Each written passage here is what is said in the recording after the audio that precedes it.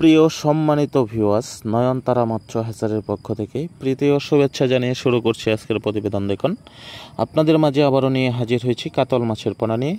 তো এই টাইপের কাতল মাছের পোনাগুলো আপনারা যারা পুরাতন চাষি, তারা অবশ্যই জানেন যে এই মাছের খাবার এবং মাছগুলো কীভাবে চাষ করলে লাভবান হতে পারবেন।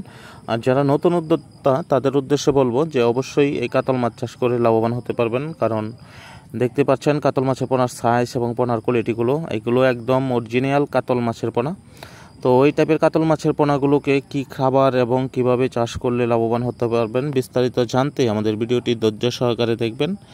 আর অবশ্যই আমাদের চ্যানেলটি সাবস্ক্রাইব করে দেবেন। কমেন্টের মাধ্যমে আপনাদের মূল্যবান মতামত জানাবেন যাতে করে পরবর্তী ভিডিও এবং নতুন নতুন পোনা নিয়ে আপনাদের মাঝে হাজির হতে পারি। তো চাষি ভাইয়েরা আপনারা কিন্তু এই টাইপের কাতল মাছগুলো আপনার পুকুরের পানি সবসময় সবুজ কালার রাখতে হবে। কারণ যদি আপনার সবুজ কালার থাকে আপনার পুকুরের পানি, তাহলে আপনার মাছের বডিগুলো খুব সুন্দর এবং সবল থাকবে। কারণ কাতল মাছে কিন্তু আপনার ভাসমান মাছ, এটা কিন্তু পানি চোষণ করে বেশিরভাগ। তাহলে আপনার যদি সাদা পানি থাকে, ওই ক্ষেত্রে আপনার মাছের বডি শুধু শুকিয়ে যাবে। আর যদি পানিতে আপনার সবুজ কালার থাকে, তাহলে আপনার মাছের বডি ভালো থাকবে এবং সুস্থ থাকবে। মাছগুলো খুব অল্প সময়ে বাজারজাত করতে পারবেন এবং কোনো রোগ জীবাণু ছাড়াই মাছগুলো গ্রোথ চলে আসবে তাড়াতাড়ি।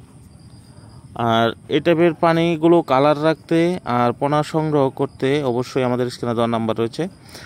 আর পানিগুলো কালার রাখতে আপনারা সবসময় খোল ভিজিয়ে রাখবেন পুকুরে, আর খোল কোড়া ভিজিয়ে খাবার প্রয়োগ করবেন।